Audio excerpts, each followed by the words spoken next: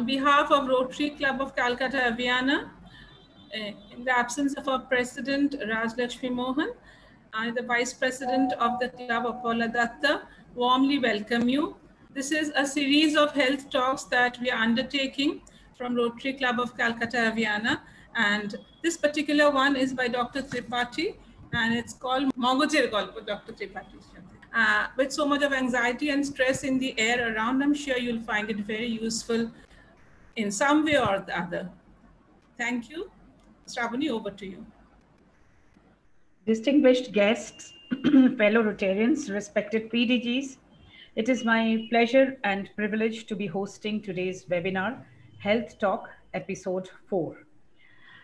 Good evening and a very warm welcome to one and all. Today, we have a very interesting and literally a brainstorming session. It's called Mogojir Golpo, or it could be Mogoj Dhulai also, with none other than Dr. LN Tripathy. Dr. Tripathy is known for his expertise in performing complex surgeries for tumor, aneurysms, and trauma. He has to his credit over 1500 major surgeries and leads a team of highly experienced neurosurgeons and neurologists in providing advanced care for complex neural disorders, including old age conditions like Parkinson's, Alzheimer's, and degenerative spinal disease. Dr. LN Tripathy has been the director and vice chairman of Medica Institute of Neurological Sciences, Medica Super Specialty Hospitals, Kolkata since 200, uh, 2010 and uh, senior vice chairman from 2017. Sir, a very good evening and a warm welcome to you. Good evening. Thank you very Dr. much. Tripathy. Thank you. Today, we'll, let's talk about the brain because that's the crown jewel of the body. So if I can take your permission to uh, share my slides. So this is the gross anatomy of the brain. Now you can see a small letters, of course. There are four pictures. The first on the left is a lateral view. That means if you see my brain left side, after opening the skull, you see this frontal lobe, cerebral cortex, parietal lobe, occipital lobe. And one below the occipital lobe is the cerebellum, slightly different from the brain above. And then you see the yellow stem-like thing coming out, that's a brain stem. So basically the top part of the brain is the main brain, the thinking, doing, working, talking, uh, you know, doing everything that we do uh, as a human being. The bottom part, you know, our movements very carefully, depth, etc. And the cable, which is the brain stem, is the main cable coming out of the brain and the nerves going into the brain because we have in and out like uh, in elect this is basically electrical organ. Uh, the brain is actually an electrochemical organ. Let's make it that way. So that is the first picture. The first picture the second on the right right top. If you see my uh, if you cut my brain like in the middle and see from inside, we call it medial surface. Very important structures are there. I can show with my cursor with the arrow that you see this is the pituitary gland. This is the pineal gland. This is the brain stem with all the breathing center, heart center, eye control center. There are very important centers in the brain stem and then the spinal cord continues from here. So this is the cerebellum I was telling you, or the hind brain, hind brain, cerebellum and brainstem. And this is the top part of the brain, which is the main brain, as I said. See, the, it is color coded just for pictorial sake. And all these parts are divided by sulci, gyri, you know, or the divisions. And each one has a separate and very special role to play, like we know the bottom left superior view means if you see from the top, this is the front, this is the back, and these are the areas red, uh, violet, yellow, blue, and you know all the other colors. This color coded just for but actually there is little uh, demarcation and we know that there are various areas in this uh, in, the, in the brain. So some part of the brain does the thinking, some part of the brain has the memory, emotion, sentiments, and you know various uh, artistic work, various motor functions, various uh, spirits, high spirits, and initiation of you know uh, the drive, frontal lobe. So we will discuss that as we go on with this presentation. And this is the right uh, bottom. This is the view from the below. If you see my brain from below, you it will. So here you see all the nerves coming out from the head. We call cranial nerves. It is the nerve for smell. This is the nerve for eyesight, going to the eyes on both sides. These are the nerves for eye movement. These are the nerves for hearing, for facial movement, for swallowing, for speech. So there are all these 12 pairs of, there are 12 this side, 12 that side. 12 pairs of cranial nerves or nerves from the brain connected to the special senses, eye, ear, nose, taste, and uh, eye movements, various uh, eye accommodation. And this is, as I said, swallowing, speech, so all these nerves are very important. We call cranial nerves. Now this part of the brain we call base of the brain and it is very difficult to operate in this part of the brain which is called skull base surgery or base, base of the brain surgery because all these nerves and so many arteries. So these are the different parts of the brain. Now I just want to show you two pictures here. Don't get confused. This is the neuron. Neuron means the nerve cell. The unit of uh, nervous system is a nerve cell. The cell has a body. It is axon, means from here the impulses go out and then join with the dendrites. So this is another neuron and these are the dendrites receiving the impulse or the information. And then this neuron will give another axon which goes towards the terminals. So, and this part of the junction is the most important working part of the brain called synapse. Synapse means two junctions. And if you see the picture on the right side, this is how, this is called a connectome, means there are so many connecting fibers between each part of the brain. It is an integrated structure. You can imagine that when we think, we speak, we move, we, sing, we talk, we understand, you know, the brain millions and millions of, uh, you know, connections between the nerve cells and between very specialized part of the brain and called the connection fiber. So if you want to tell me, you know, if you want me to tell you the, the, the number of neurons in the brain, you see, human brain contains 100 billion neurons, very much in number, very rich. That's why we are supposed to be the advanced uh, you know, creation of the God, most advanced cre creation. So the 100 billion neurons and average number of synapses, the junctions, each neuron has at least 7,000 junctions, you see, so they're branches. It's like hair from the head. The branches, they communicate with each other. It is very important that the communication between the neurons occur because otherwise, you know, the brain will not function as it is. So if you calculate it, the total number of synapses, friends, synapse is where the thing occurs. The memory, the emotion, the sentiments, the all the functions of the uh, new. So that's why I said when I started that brain is a neurochemical organ. The synapses, there are neurotransmitters. We'll talk about it. So through the neurotransmitters, the impulses travel. So there is electrical activity, there is chemical activity. So it's an electrochemical big structure. The synapses can number up to 100 to 1000 trillion, unthinkable number. And we need it. And that's what make, makes us the most advanced uh, creation of God. Now, just one uh, interesting uh, hormone organ or endocrine organ called pituitary gland. I'm sure most of us have heard about this gland. Now, pituitary gland is very important. and all the hormones, the growth hormone, the cortisol, the steroids, the sex hormones, the you know pregnancy hormones, lactating hormones. There are so many thyroid hormones, which is very common. There are so many types of hormones. They're all secreted from this pituitary gland, and majority of them from the anterior. This is the anterior in front.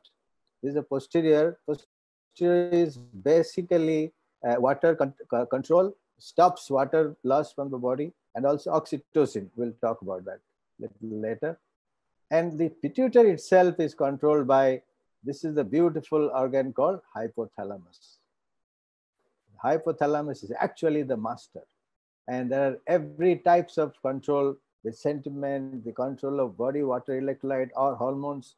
The hypothalamus orders the pituitary gland through these connections to secrete that much amount of hormone necessary to keep the body in balance. So friends, if there is any imbalance between different hormones, you know what, what will happen. There will be anger, there will be anxiety, there will be you know, excessive growth of a part of the body, there will be hypertension.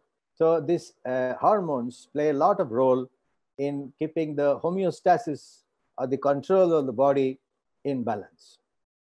So this is very interesting organ, pituitary and hypothalamus. One thing about the brain, when we will talk about the head injury, I'll show you some pictures. But as you know, the, this is the natural helmet. This is the natural helmet to protect the brain. The skull is nothing but a natural helmet to protect the brain. Of course, when we drive, we have to use the uh, other helmet to prevent the injury to the head. So inside the head, our head, our brain the volume of the brain is around one and a half liters. Let us say 1500, 1600 in male and slightly less in female. Not necessarily female brain is inferior. In fact, they are very superior in various things. We'll talk about it. So inside the brain, inside the head, the contents are fixed. This is what is, there is some amount of blood, about 150, 200 maximum blood. The blood goes and comes out, goes and comes out. If it doesn't go, you get stroke. If it goes and doesn't come out, you also get stroke. We'll talk, uh, talk about stroke. I'll show you some pictures. This is the CSF. CSF is the fluid, the cerebrospinal fluid. It's a brilliant fluid. It's water, water in the brain. Of course, there is water inside the nerve cells, the brain tissue, but this water keeps the brain floating. Otherwise, your head will be bending and falling. So it is the buoyancy of the CSF and the shock absorbing effect. So the brain is surrounded by CSF all around. And if excess of CSF accumulates, excess of fluid accumulates in the brain, there is a condition called hydrocephalus. For that, we drain the CSF. So there is a constant formation and drainage of fluid in the brain. It, the CSF or the fluid comes out from the brain and goes back into the brain to the circulation.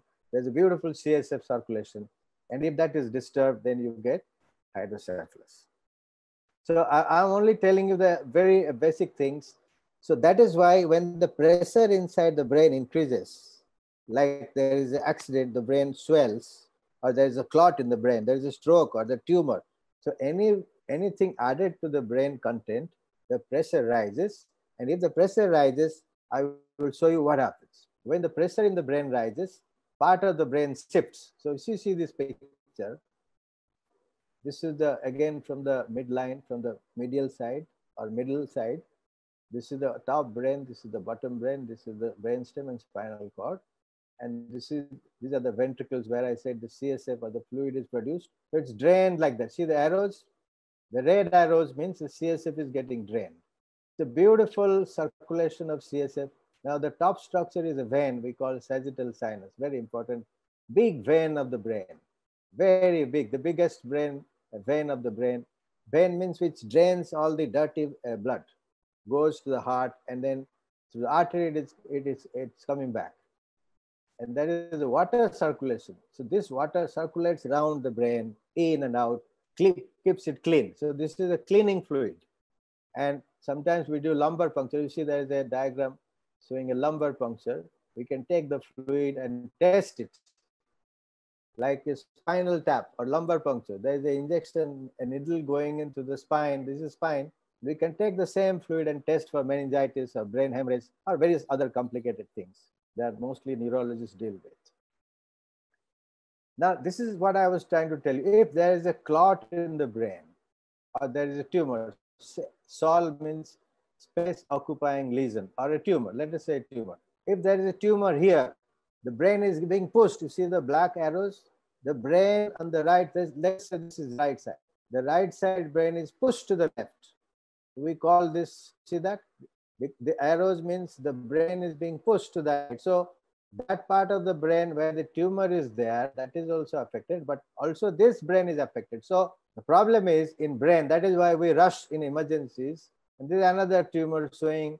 So there is herniation or part of the brain because brain is very soft. Brain is very soft. It's slight, soft rubber-like, very soft rubber. So it can go through the holes of the skull called herniation and the person can have fatality from a big herniation here or there. There are two places and there is one more here, three places where the brain shift occurs from left to right. So the beautiful structure of the uh, nature of God, there has things have to be in the midline, things both sides of the brain has to be on either side. If,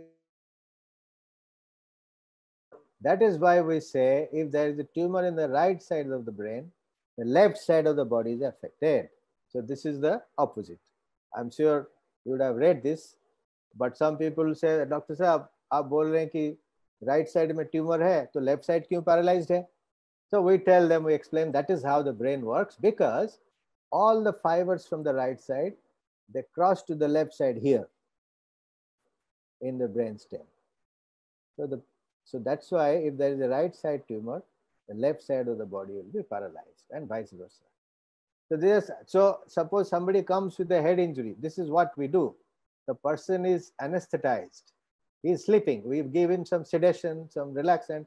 The muscles have to be relaxed. He has to put to sleep because sleep is a big uh, resting thing. Once the brain is injured, then you need to rest the brain.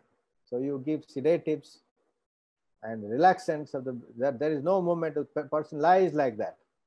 This is the tube going through the trachea, it's called endotracheal tube. And there is a feeding tube where we can give uh, feeding through the tube. And there is a temperature through the nose. And sometimes we give nose feeding also. And these are the ECG monitors. And you see that head injury also can have neck injury. So we put a collar. This is a collar to put the neck prevent the neck from further injuries. So unless the person is conscious, we have to keep the collar till then. So this is the initial management of head injury. And then what we do, we can also do drain the fluid from the brain. I showed you the CSF. When, you, when the pressure is high, we drain some fluid out and then relieve the pressure in, inside the head. We also can see the different metabolites. This is uh, called dialysis of the brain We see the different chemicals to see how much is the brain damage and the recovery. And then also we can measure the pressure inside the head called intracranial pressure. So these are the advanced uh, things and I'll show you some MRI. I don't want to take uh, too long. So this is an MRI picture showing a brain tumor.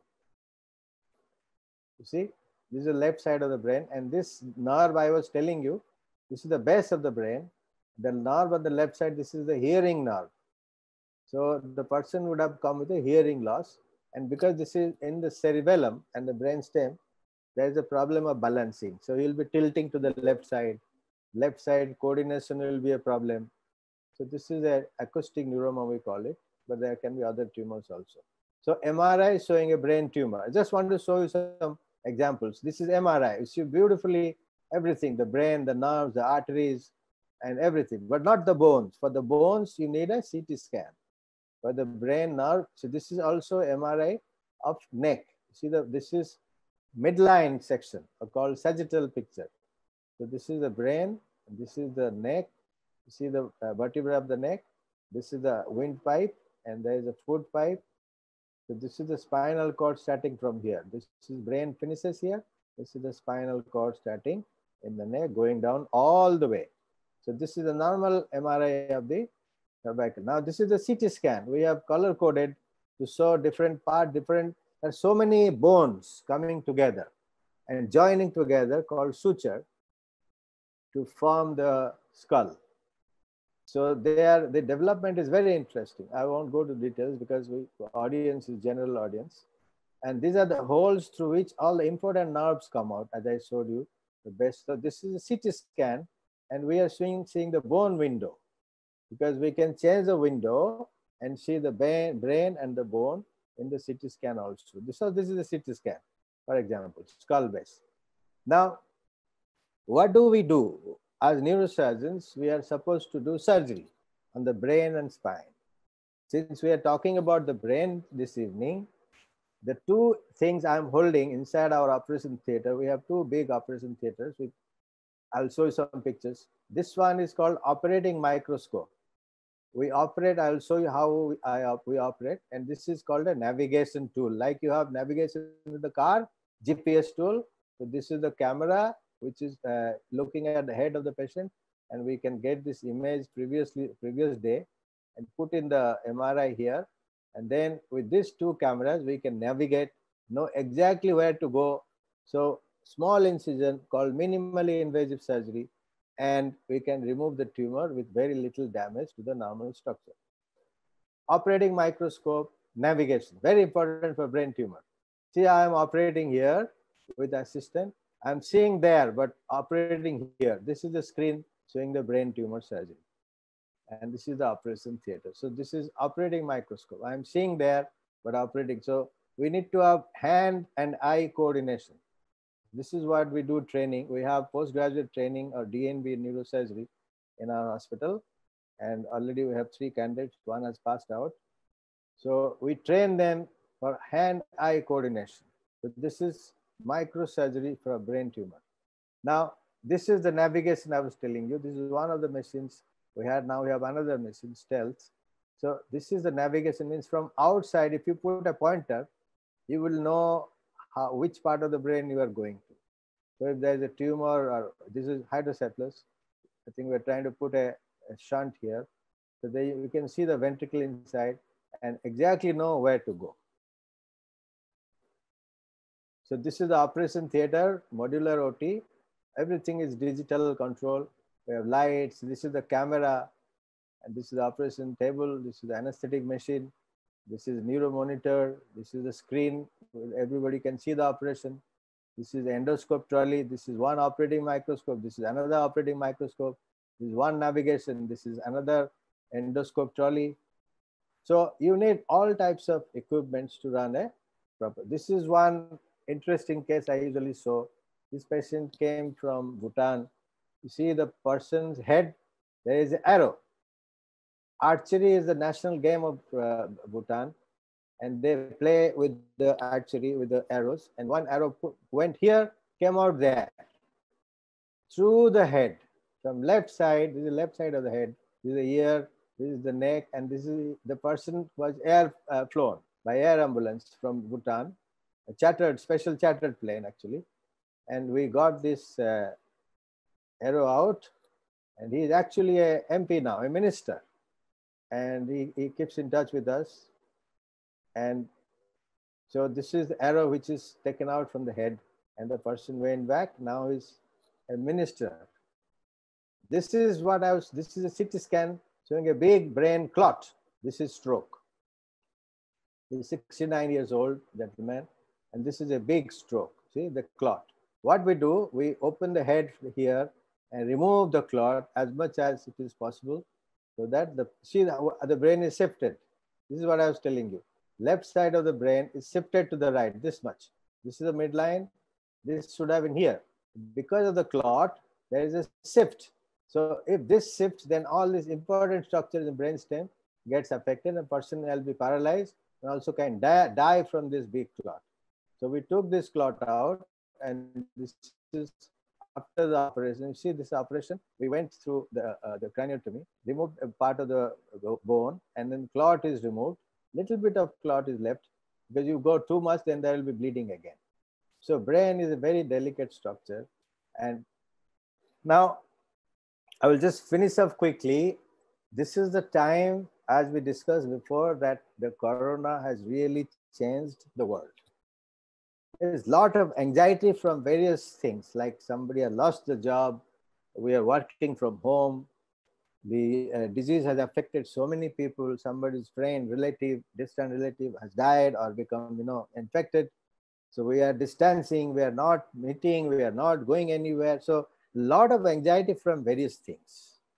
The best thing I would tell you is that stay active. Don't worry about it. This is going to pass. I'm sure there will be a vaccine very soon and treatment we are already giving. In Medica, we have the maximum number of COVID patients in this part of the world. And we have seven ECMO machines and we have saved so many people. I'm proud, proud to say that our ECMO department, the CTVS department under Dr. Sarkar, and our uh, intensive care department under Dr. Tanmay Banerjee, Dr. Abirul Roy, Dr. Saha, and all the beautiful, experienced doctors are saving so many lives. Today, there are more than 180 patients admitted. So, people who have minor disease, we don't need to admit them into hospital. They can stay at home with quarantine or in annexes. Like our hospital, we have taken a guest house, a big hotel guest house. There are rooms there, so we can put people in there if they are worried. But the thing is that you people who do not get the infection, they should stay active and try to avoid contact. I will show you the important things that we all practice to stay away from the infection. You need to do regular exercise. I spend one hour in our hospital gym every day. So you need to do regular exercise, which is good for your physical and emotional health. No alcohol or, you know, very, there is no socialization anyway. So you can't say that no i had to drink because there is no socialization no one is going anywhere no one is coming the clubs are just recently opened. So alcohol very limited. No smoking that we all know. Now caffeine is good for memory. But if you have too much of anxiety you're losing sleep then you cut down on your ca caffeine. And as we all know sleep is the best healer. So six seven hours of sleep is very important for any adult. If you do not get sleep, you have anxiety added on. If you can meditate, it's very important that you keep your nerves cool. Meditation really, those, those of you, I do meditation every day at home with my wife. And it is very important to have some kind of you know, spiritual activity if you, if you can, or just sit quiet and meditate. There is no substitute for a healthy diet. Lots of fruits, nuts, very little uh, meat or no meat, fish, lot of fish. Those who can, uh, আমাদের বাংলা এখানে lot of fish eaters are there. I also love eating fish. Now, if you can, if you are a vegetarian, of course you can take nuts and fruits, fresh vegetables, fruits. They're very important, and avoid the fatty food, the you know oily food. All that should be avoided. And you practice deep breathing, like pranayam. If you can do, is good for relaxation of the brain. Now, anger is certain thing that you should avoid because when you are angry, you lose your senses. I don't want to go too much into it, but mostly I wanted to show you that it's basically with the hormones. A lot of hormones secreted when somebody gets angry, and that makes you excited. You lose your control. You say things that you should not be saying. The next moment, when the hormone levels come down, you realize I should not have said that. But so very important to control your anger, and these are the hormones. So we know this, uh, uh, I say bloody virus, is more than bloody actually, a, a, coronavirus. You know the spike proteins, and there are various uh, uh, work going on. So brain also is affected by corona because you can get a stroke, you can get blood clots in the brain, the main arteries, the veins can be clotted, and frank strokes, brain hemorrhage, also and fits, convulsions, blindness. So all this can occur from COVID. This is a CT scan showing a brain hemorrhage. We had this patient. And so I just want to finish with this slide that although we know we have experienced, those of us are still lucky to have not got the infection. We must have practiced because this is in the community. Everywhere, you know, this virus is there. So hand wash, mask, and social distance. So I say Medica super specialty hospital MSH. M for mask, S for social distance, and H for hand wash. These three are best prevention that you can think of. You can use any type of mask, but uh, for medical people, M N95 is important. For non-medical people, any good mask is important. Unless you have an infection in the family or society, you should be away from them. Certain medicines are there, we use all this, but what we are looking at is the vaccine. Now let's pray to God. And we are very uh, much close to Durga Puja. Let us all pray to Ma Durga to bless us with some vaccine. Um, you know, I'm sure you know that from the news, so many countries, so many types of vaccines, so many pharmas are working. Let's hope that the vaccine is available and this uh, pandemic is controlled. Till then, let us practice. So I think I will stop sharing my slides and then uh, uh, I'm sure I have taken a lot of your time, but I hope that uh, it has been helpful and I'm ready to, you know, uh, open the discussion, questions. Uh, Shravani, thank you so much for being patient. Thank you, doctor. It was it, it was a very, very enlightening and informative session. And now we have a lot of questions. Good evening, Dr. Tripathy. Uh, my question, yeah, good evening. Uh, my question is when uh, memory loss is there, which part of the brain is affected and uh, how can we uh, just take care of it? Yeah, so memory, uh, this the storage of memories uh, in a part called hippocampus. Okay. So it is a temporal part of the brain. As I showed you the picture, you might have seen the temporal lobe or in the temple towards the mm-hmm. midline, towards the center. You see all these important structures like memory, emotion, sentiment, you know, so many other functions that we, very sensitive functions of brain, they are concerned, they are concentrated towards the center so that if there is injury, they are still protected. You see what I'm saying? So Right. memory is stored in hippocampus.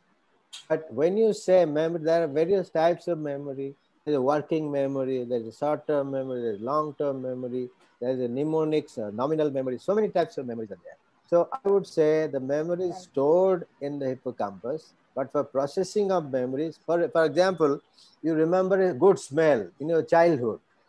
You Hmm. remember a good song, Right. you know, or you want to sing the song Right. or you, you, you, you remember certain sights. So a semantic memory or a visual memory. So there are a lot of Right. connections in the brain, like I showed you the various parts. So that those parts are also involved in processing the memory and maintaining Right. memory. You store it, but you also want to bring it out. Right. So to remember it. So you encode it, you store it. Thank you very much, Manjula ji. Yeah, thank you. Thank you, Dr. Sam. That was a uh, good reply. And I just wanted to uh, know that uh, how can we improve, does some uh, particular uh, exercise or some meditation improve your memory? the, I, I mentioned some points about anxiety. The very important, uh, those points are also helpful in memory. If you take nuts, you uh, have caffeine is good for memory. Like people get a, a cup of coffee in the morning or before a meeting, you know, before anything important, if you take a, a coffee. And the dry nuts are very important.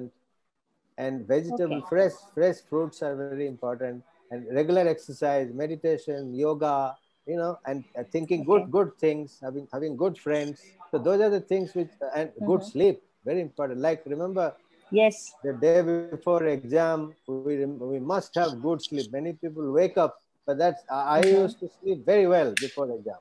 No wonder Mhm. I was a topper in all my exams and had my all, all, all the gold medals of university I bagged.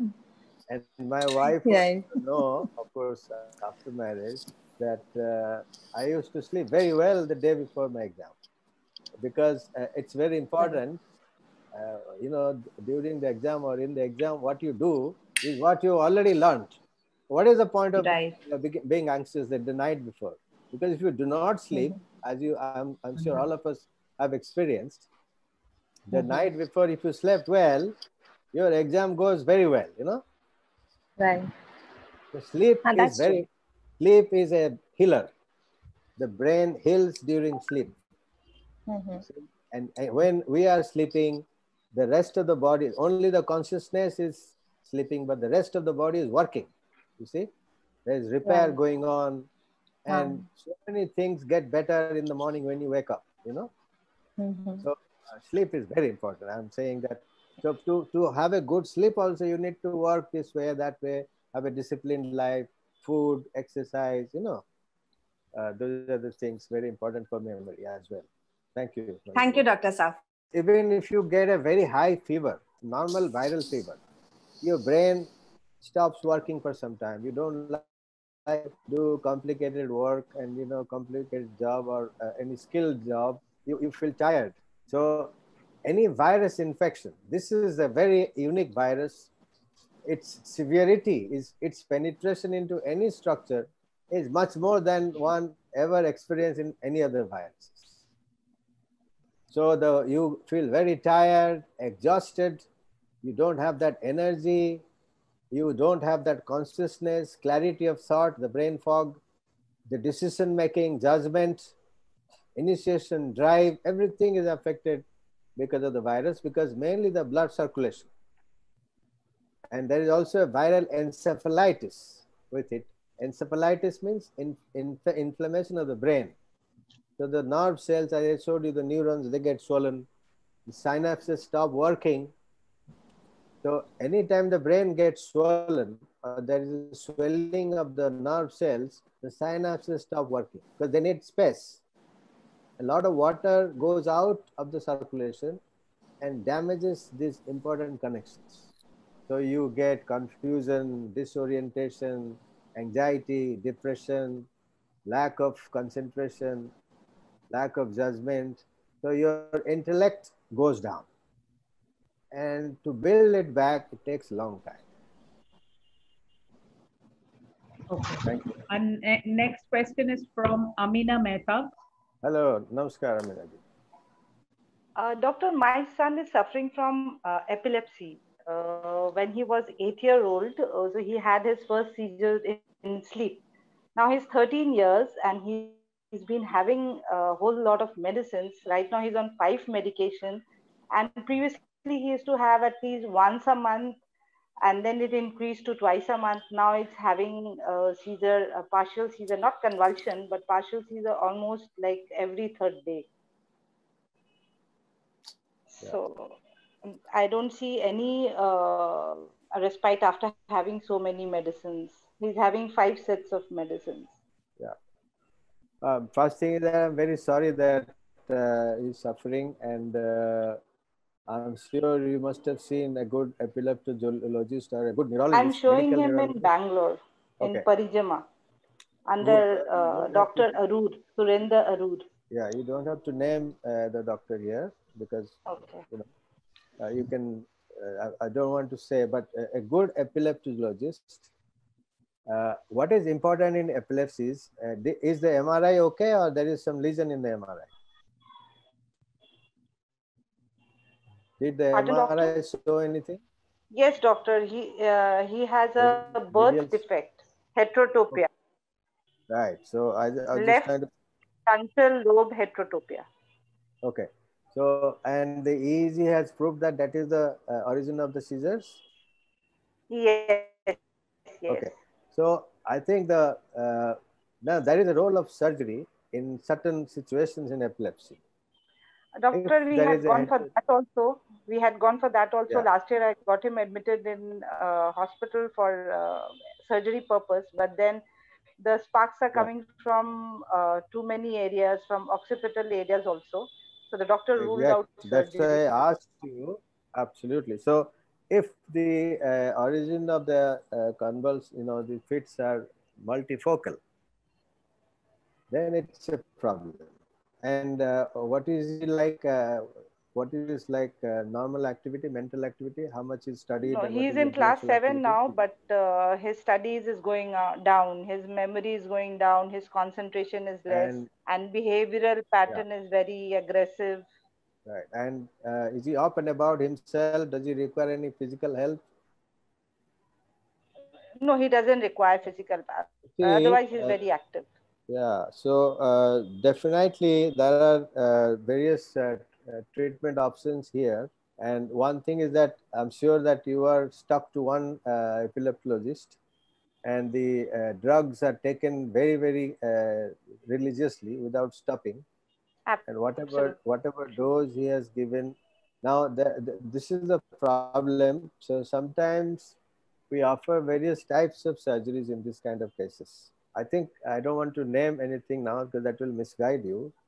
Uh, since they have ruled out the surgery for the time being, uh, did they uh, consult, did they uh, discuss the vagal nerve stimulation?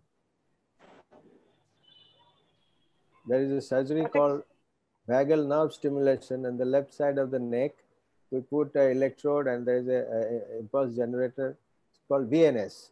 Sometimes if the seizure is multifocal, vagal nerves, because the other operations are very destructive operations like commissurotomy, hemispherectomy. It is not done if somebody doesn't have a physical uh, debility. If you're physically well, then because those operations also carry risks. And uh, I would suggest you can discuss with the doctor about a vagal nerve stimulation because he's still 13 years Okay. old. Okay. Uh, that may be an option. Other than that, I think uh, you know five anticonvulsants. I understand very difficult, and with a behavioral problem, we also need a neuropsychiatry backup. So I think vagal nerve stimulation can be an option. You can discuss with your doctor. Okay. Oh, okay. Thank, thank you you, very doctor. much. God bless you. Okay, next, Mr. Navneet Banerjee. If there is a clot, is it advisable to operate or keep the patient on medicines?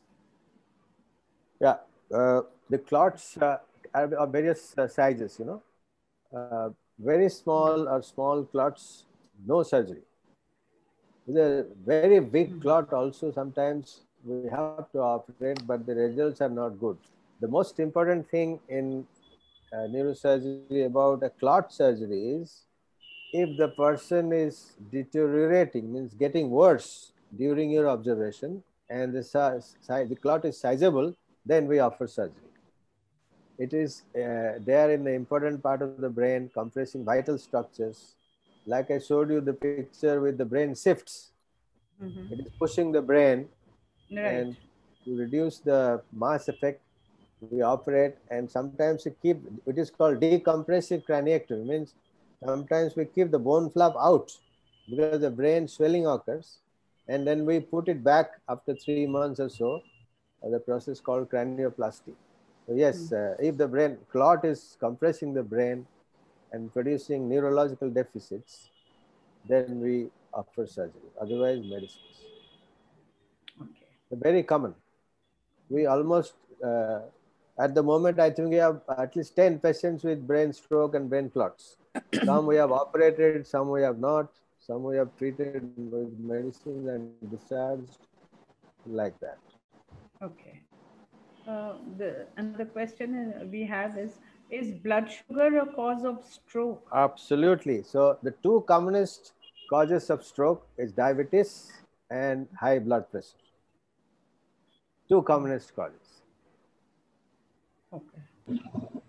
Uh, the other one is: uh, Can heart problem lead to brain stroke? Absolutely. So, see, if there is a stroke in the brain where the artery is blocked, okay, this the clots can come from the heart. The heart is pumping, and there could be some small clots generated inside the heart due to either endocarditis infection or uh, certain conditions there. Then uh, you know, the clots can go and dislo- uh, lodge inside the arteries in the brain and produce a stroke. And also, people who have heart valves operated, Mhm. you know, they change the valves in the heart and they give certain medications. Even after the angioplasty or putting stents or a bypass surgery, they give the antiplatelet medicine, ecosprin, clopidogrel, Eliquis, all those medicines. those medicines also can cause bleeding in the brain. So sometimes we have a patient now who has last week angioplasty and they are giving the uh, blood thinning tablets, but he also has a brain clot. So if we continue the Uh, uh, blood thinning tablets, the clot will increase and go, go, uh, do damage to the brain. If we stop the antiplatelets or the blood thinning tablets, the heart stent will block. So we have a dilemma now. So what we try to do, we try to explain this to relatives and give the smallest dose of ecosprin, taking a risk of the clot increasing. You see what I'm saying? So the, the medicine which is good for the heart is not necessarily good for the brain as far as the clot is concerned. Followed by this, we have another question that uh, uh, whether ecosprin or any kind of uh, similar um, uh, drugs are recommended after 50? Not really. Not really. Yeah, because it also has Now- the side effect, you know. Earlier they used to say one ecosprin a day keeps the doctor, you know, all those funny things. With unless person Mm-hmm. has a chest pain or ECG changes, uh, it is not advisable. Not advisable. Okay. The importance of vitamin D in today's uh, challenging times, as majority city dwellers have deficiency. So, Yeah, you see, vitamin D, as we know, Hmm. uh, we get it from sunlight. And how many of us Mhm. Go to the sunlight? You know, so we are either indoors or staying inside, air conditioning.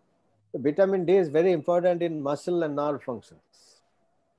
And many Okay. patients come to our OPD or you know uh, consult us, where you see the vitamin D level is very low. They have Hmm. pain here, aches and the pains all over the body.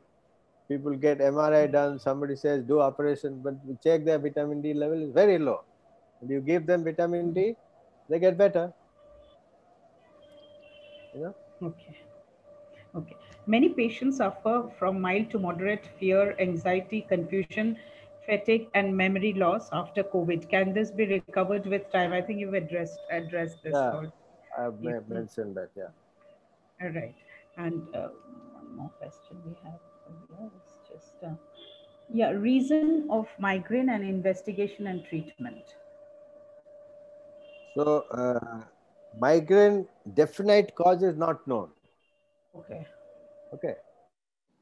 There are various hypotheses explained, you know, suggested vascular theory, uh, this theory, that theory, and uh, neurotransmitters, this and other.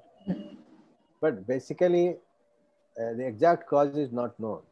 And that is why the, the treatment of migraine is very difficult. But there are standard uh, treatments available, there are standard medicines available. The interesting fact about migraine is it can run in families, and ladies are more affected. Mhm. If their mom had migraine, they get the Oh. chances high. And the uh, in, instigating factors are the factors which bring, trigger trigger factors we call it triggering factors like sunlight Mm. uh, you know Mm. Staying hungry if you are fasting you get a headache anxiety brings a migraine different types of food ice cream cheese this and other can bring migraine. so if you know what causes the migraine then you got the treatment because you stop caffeine you know but if you do not know what caused it, then it is a problem. And severe migraine is very painful, you know. So we give very specific treatment for migraine. There are various preventive tablets available. There are some nasal sprays also available. And with that, migraine thing is that once it is starting, you use the tablet like rizatriptan or Zolmist spray if you wait a little bit, once it starts, it is not going to stop. It will take long time.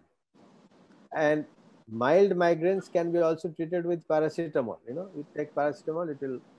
But very severe migraine, you need the Sibelium or the flunarizine, the propranolol, Inderal, topiramate, some anticonvulsant, sodium valproate, combinations of those, beta blockers and all that.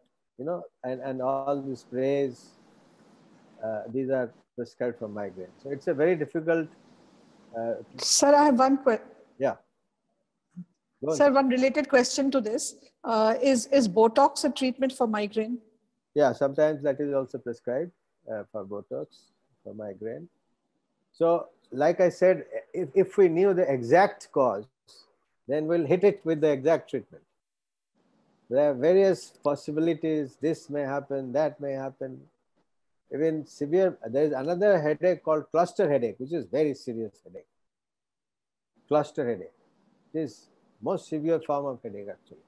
And some people become so, it is becomes so painful, they attempt suicide, this and other. And also we sometimes do deep brain stimulation for cluster headache. You know, not in India, but somewhere in England. I know Dr. Aziz, my friend who with whom we do the Parkinson's treatment, he has treated some cluster headaches uh, with the stimulators in hypothalamus.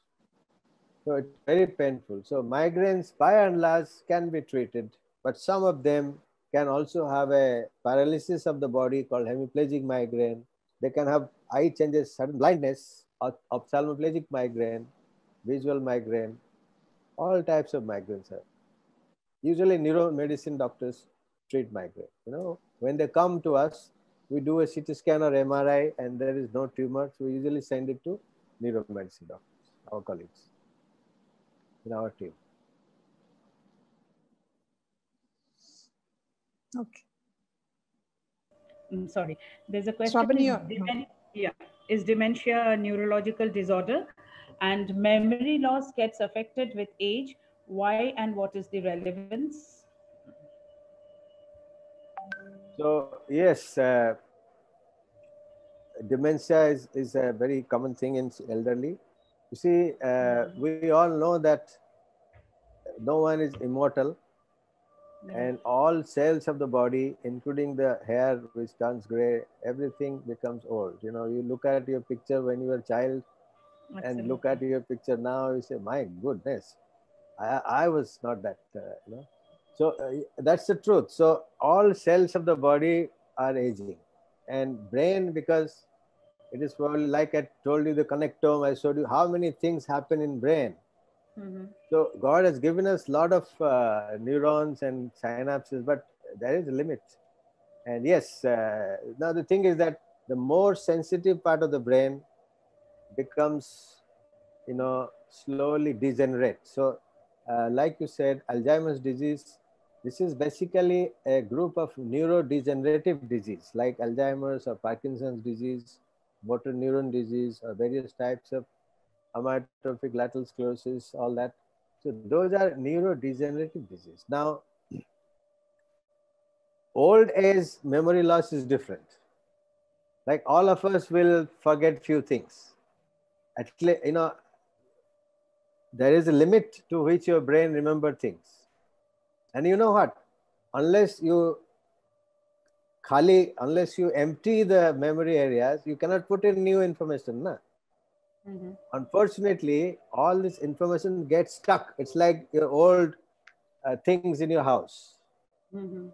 Unless you clear those, you cannot have new memories. But clearing the old memories in the brain is very difficult. Difficult. You may not remember it, but it is very difficult to take out. So they get all occupied, you know. Mhm. Slowly, slowly, how many things we learn every day, every moment, you know. So all these nerve cells get occupied and there is no, so access denied, you know. The hard disk is full, but you cannot access it, you know. So old age memory loss is normal, but Alzheimer's Mhm. memory loss is not normal. Okay. There is a very rapid degeneration of those, especially cells, neuro, neurons in the hippocampus. Uh, Okay. and all these central structures I showed you in the picture, you know.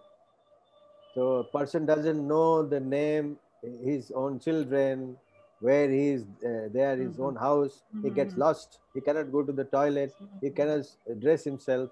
He cannot eat. So gradually, more and more severity of Alzheimer's. The person require a lot of care rather than medicines. And unfortunately, uh, if it is Alzheimer's or Parkinson's for that matter, they are not curable. Mm. A lot of work is going on Mm. about Alzheimer's with the tau protein and you know the amyloid uh, the plaques. A lot of work is Mhm. going on. There are some medicines like Aricept and Bantadine and all that. Uh, Okay.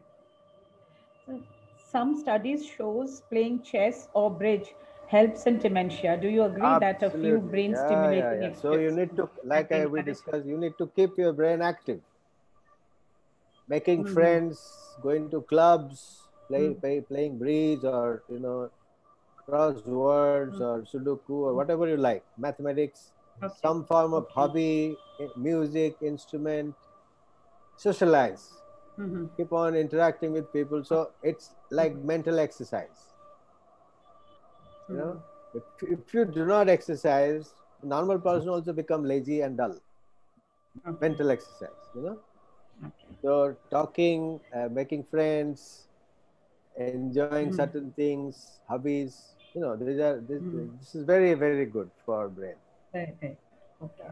And so one last question that uh, what is, what is the treatment for Parkinson's disease? And So uh, Parkinson's, the main treatment uh, is that because the dopamine of the brain is depleted, the main medicine Okay. is to give some dopamine, like Syndopa, or other Mhm. medicines which help in dopamine function. Mhm. Main thing in Parkinson's is the movement disorder because there is tremor. Person cannot hold a glass of water to drink, or is so stiff yes. that he cannot move Mhm. and he cannot walk. While walking is like running and falling down. You know. Mhm. So the tremor, rigidity, and the lack of coordination or the stiffness. That is the main thing. In, so these medicines primarily are aimed to control the movement motor, motor symptoms. But in addition to this movement disorder, there is also many things associated with Parkinson's, like dementia and excess salivation, and there are various types of Parkinson's that with all of uh, side effects of medicines, uh, the dyskinesia. So mainly the treatment is aimed at controlling the motor functions or the movement disorders. And when the medicine fails or the dose of medicine is so high, like Mhm. Syndopa or similar, that the side effects become more disabling. There we do the deep brain stimulation, putting the like the pacemaker for the brain. We put an electrode in the brain and there's a impulse or pulse generator and we control the move. So this is dramatic. I wish we had time. I would have shown some videos where the uh, movement disorder on the operation table. We have we have done some cases here. Suddenly stops and the hand becomes normal. So this is magic. But there are a lot of selection criteria. So yes, Parkinson's has both um, medical and surgical treatment. Most of the medical treatment is aimed at movement uh, control, abnormal movement control, and surgery can be offered in very selective cases. Okay. Uh, so, uh, yeah, another question: How to? Though you, I think you have answered this. How to keep the brain active when one becomes old? So you mentioned already that brain needs to be kept active through some stimulating Right. exercises. Um, I think it was a very, very uh, informative session. Mogojer Kotha, we had, we have been brainwashed, I think, by now. so, so over to Sheila for a formal vote of thanks. Thank you. Thank you, Shravani. It was a wonderful webinar you had with us. It was so very informative. And we had a lot, learned a lot how complex our brain is. Sometimes we say you're such a brainless person, little do we realize how much goes to the brain of ours. It's so quite complicated. And for the lovely tips, excellent tips you've given us to combat stress, which is really very important today's day and times. We hopefully will try and follow everything you have told us. And of course, all the COVID precautions you also told us about. We told, I think the end of this day, everybody's going to start playing chess and doing everything to keep our brain intact and keep it strong and vital and throbbing all through our lives now. Thank you very much. And I also take this opportunity to thank each and every participant for attending this webinar. Thank you very much and hope to see you once again, sir, with a little more tips that you can give to us. Thank you very much. Shilaji. Thank you.